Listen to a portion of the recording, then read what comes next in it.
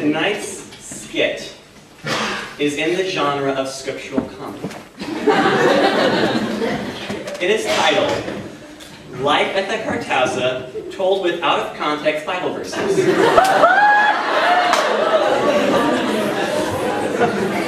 Although we use scripture taken out of context for comedic effect, please realize that we do not condone this practice, and hopefully this skit will help you see why. Tonight's skit uses passages from various translations. We picked the ones that we thought would be funniest in the context.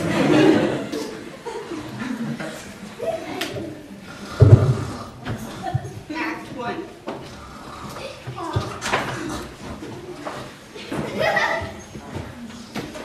Anbu, wake up. Anbu. Anbu. First Thessalonians 5, 6. 1 Thessalonians 5 6. Let us not be like others who are asleep. Psalm 127 2.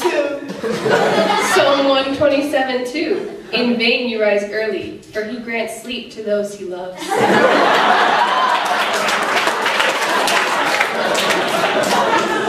That may be true, but what about, Pro- uh, let's see, Proverbs 20, 13?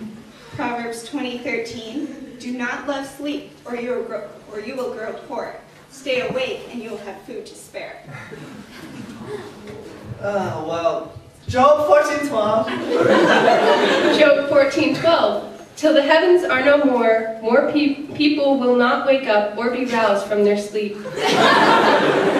Come on, Anbu. Psalm 3, 5. I wake again because the Lord sustains me. You can do it, come on. Well, it's not my fault, okay? Like Genesis 2.21. Genesis 2:21. The Lord God caused the man to fall into a deep sleep.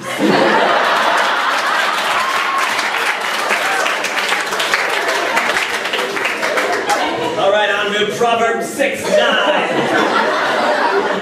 Proverbs 6 9. How long will you lie there, you sluggard? When will you get up from your sleep?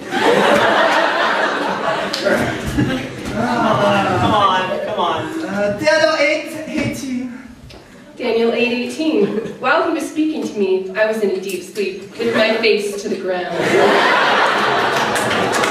Do I really have to resort to Acts 12, 7? Acts 12 7. The angel poked Peter in the side until he woke up.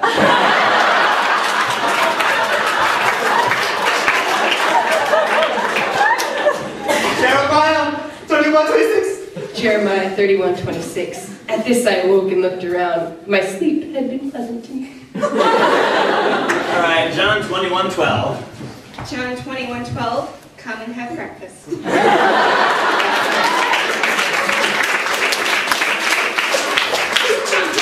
Acts 2.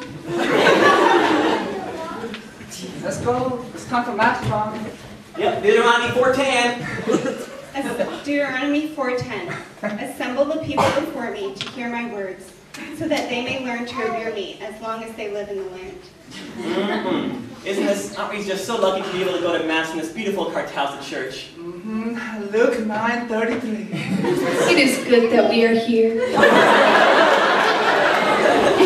Whoa, we have a lot of Exodus 8.21 going on here.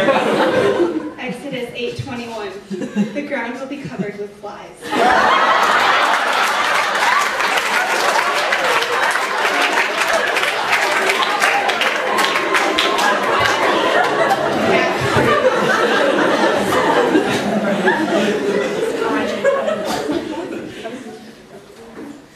Hey, Anda.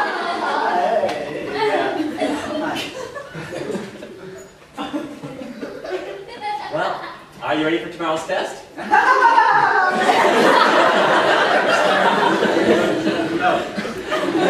Why not? I don't study.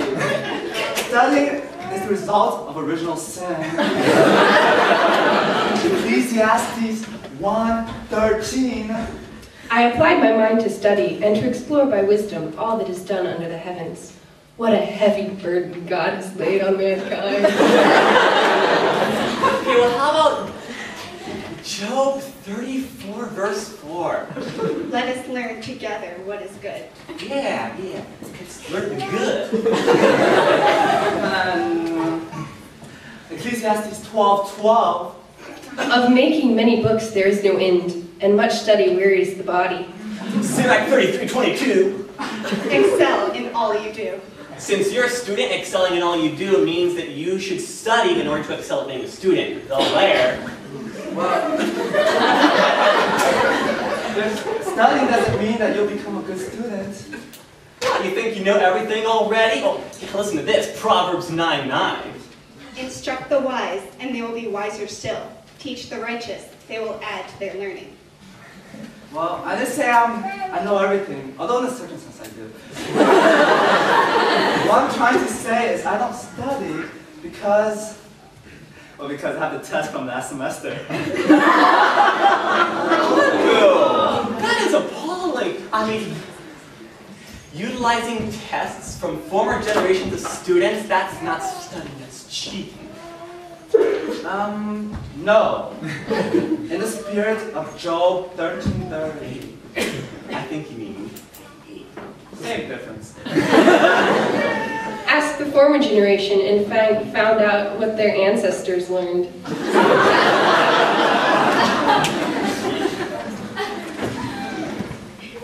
Act 4. Well, what should we do this beautiful day on, Boo? We could be like those crazy Americans and jump in the creek. I know you're gonna pull out for that one, Joshua 3 8.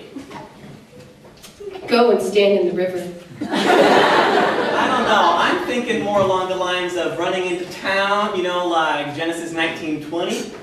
Look, here's a town near enough to run to, and it's small. That's way too boring. We could do something like pranking. Pranking.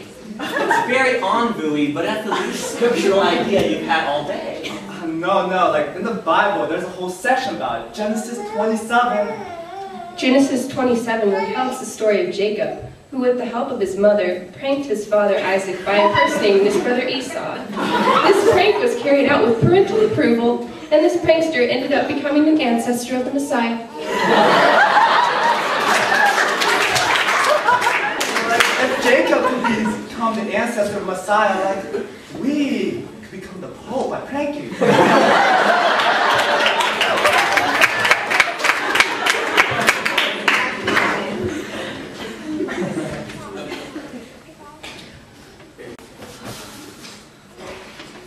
It's Linen Exchange Day. Revelation 19:8. Revelation 19:8. Fine linen, bright and clean, was given her. Oh, this cute little moldy strawberry. oh, its eyes are jealous behind your veils. oh, Mary Angela and Sarah will love this. Oh, gross! What's that? oh my gosh, it's like a moldy strawberry. Nasty. Who would have done this? I know who did it. On Boo. How do you know it was him? Matthew 7:16. Matthew 7:16. You will know them by their fruits.